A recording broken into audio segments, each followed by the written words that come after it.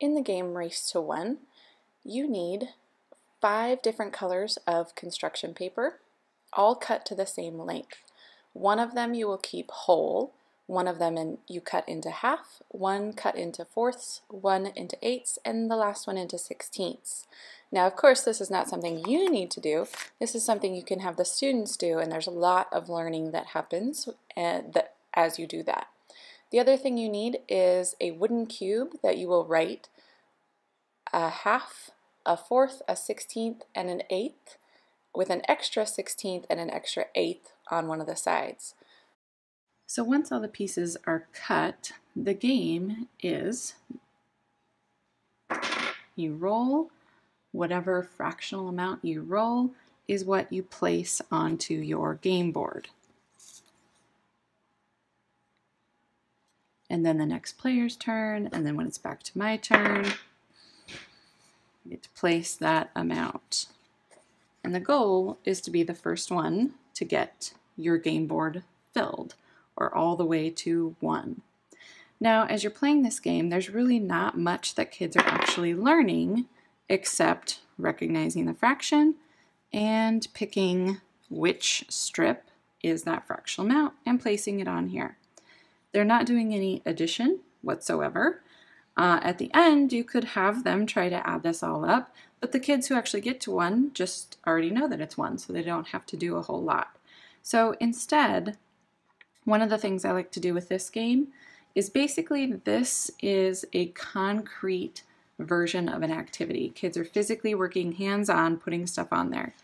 I'm a, a, big believer in trying to incorporate all three parts of concrete, representational, and abstract all in one. So if this is our concrete, I'm going to have a tape diagram, also known as a bar model, uh, as my representational. And as I'm going along, I'm going to have the kids draw a representation of what is happening on their game board right on their tape diagram. So in this case, I would need to put a 16th on there.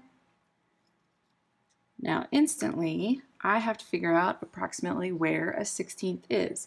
The idea is not to have them actually cut this into 16ths, but to do a little bit of estimation and visualization to figure out about where that would be. And here's my abstract where I'm attaching the symbols to the representation.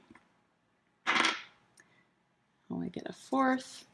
And now becomes the part when they are going to have to figure out how to add because they have to figure out approximately where they are along their game board now. So I've, I have a 16th and I have a fourth, but how far am I?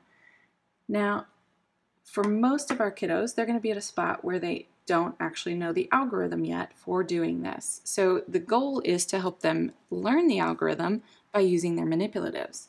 If I have a 16th and then a fourth, they can use their manipulatives to figure out how far along their game board they are by attaching the strips on there.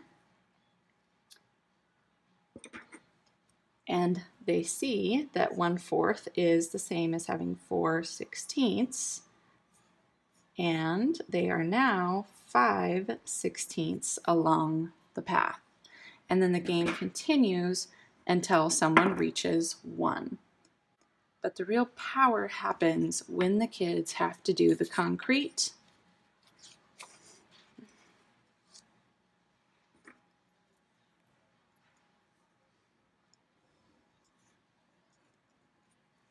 the representation and helping them figure out along the way this idea of common denominators. And how that really means just having the same sized pieces when we add and subtract.